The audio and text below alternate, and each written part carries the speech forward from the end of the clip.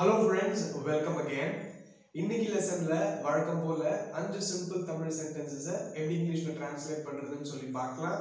நீங்களும் உங்க ஆன்சர்ஸ் வந்து ட்ரை பண்ணுங்க. எத்தனை ஆன்சர்ஸ் கரெக்டா வருதுன்னு சொல்லிட்டு கடைசியில் செக் பண்ணி பார்க்கலாம். So stay tuned so first sentence வந்து லாரி அவன் மேல ஏறிடுச்சு. நிறைய நியூஸ் பேப்பர்ஸ்ல நீங்க இந்த மாதிரி நியூஸ் பார்க்கலாம். டிவி சேனல்ஸ்ல இந்த மாதிரி லாரிக்காரன் மேலே ஏற்றிட்டு போவான் போயிட்டான் அப்படின்னு சொல்லிட்டு நீங்கள் நிறைய நியூஸ் பார்த்துருக்கலாம். ஸோ இதை எப்படி இங்கிலீஷில் டிரான்ஸ்லேட் பண்ணுறதுன்னு பார்க்கலாம். ஸோ இதுக்கு ஆன்சர் என்ன அப்படின்னா the lorry ran over him the lorry ran over him இங்க நீங்க தெரிஞ்சுக்க வேண்டிய வேர்ட் வந்து ரன் ஓவர் இதுதான் ஆக்சுவல் வேர்டு இதனுடைய பாஸ்ட் தான் வந்து ரேன் ஓவர் ஸோ அதனால சென்டென்ஸ் நம்மளுக்கு எப்படி வரும்னா the lorry ran over him இப்போ இந்த வேர்ட் வச்சு நம்ம சில எக்ஸாம்பிள்ஸ் பார்க்கலாம். There are many run over and flee cases every year run over and flee அப்படின்னா லாரி ஏத்திட்டு லாரியில ஏதோ ஒரு வெஹிக்கிள் ஏத்திட்டு ஃப்ளீ அப்படின்னா அந்த இடத்துல நிறுத்தாம அப்படியே வந்து பாத்தீங்க அப்படின்னா தப்பிச்சு போறாங்கன்னு அர்த்தம். அந்த மாதிரி கேஸ் வந்து நிறைய இருக்கு ஒவ்வொரு வருஷமும். Many dogs are run over by speeding cars on the highways many dogs are run over by speeding cars on the highways. So இதுக்கு என்ன அர்த்தம் அப்படின்னா ஹைவேஸ்ல நிறைய நாய்கள் மேல கார்ஸ் வந்து வேகமா வர கார்ஸ் வந்து ஏத்திட்டு போயிடுறாங்க அப்படின்றது தான் அர்த்தம். நெக்ஸ்ட் சென்டென்ஸ் வந்து ரொம்ப சிம்பிள் முழிச்சிட்டு அப்படின்னு சொல்லிட்டு நம்ம யார்கிட்டயாவது சொல்லணும். ஸோ இதுக்கு இங்கிலீஷ்ல எப்படி நம்ம சொல்லலாம் அப்படின்னா ஸ்டே அவேக் இந்த இடத்துல அவேக் அப்படின்னா விழித்திருத்தல் அப்படின்ற அர்த்தத்தை கொடுக்கும். I'll give you some examples. I was awake all night. முழு ராத்திரியும் நான் வந்து முழிச்சிட்டு தான் இருந்தேன்.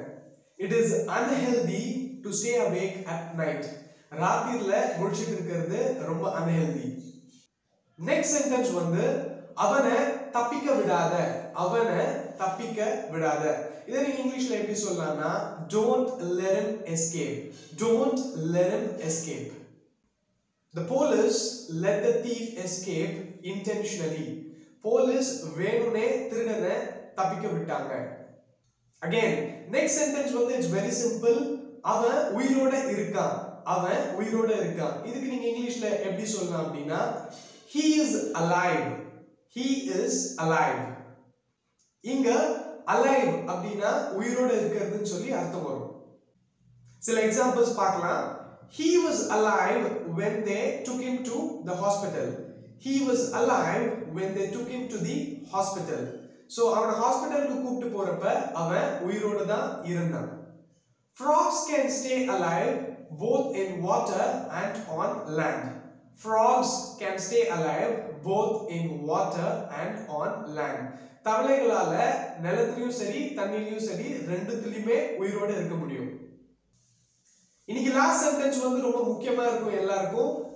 மத்தவங்களுடைய விஷயத்துல உன் மூக்க நுழைக்காத. இது நம்ம நிறைய பேருக்கு வந்து இந்த அட்வைஸா நம்ம கொடுப்போம். மத்தவங்களோட விஷயத்துல உன் மூக்க நுழைக்காத. சோ இதை நம்ம எப்படி ப்ராப்பர் இங்கிலீஷ்ல சொல்லலாம் அப்படின்னா don't poke your nose in others affairs don't poke your nose in others affairs இந்த இடத்துல போக் நோஸ் அப்படின்னா தேவையில்லாம மிச்சவங்களோட விஷயத்துல தலையிடுறதுன்னு சொல்லி அர்த்தம் வரும்.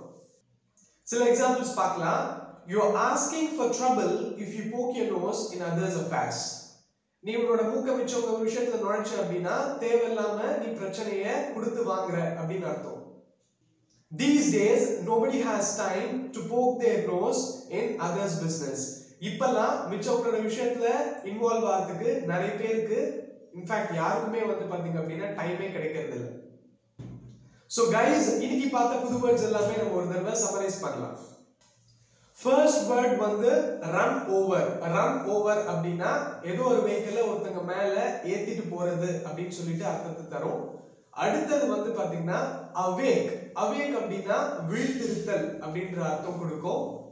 லெட் சம் ஒன் எஸ்கேப் இந்த இடத்துல யாரையும் ஒருத்தரை தப்பிக்க விடுறதுன்ற அர்த்தத்தை கொடுக்கும். இந்த சம்வன் அப்படின்ற இடத்துல அது யாரு அப்படின்னு சொல்லிட்டு நீங்க ஃபில் பண்ணிக்கலாம். ஹிம் ஹர் அந்த மாதிரி ஏதோ ஒரு பேர் கூட நீங்க வந்து போடலாம்.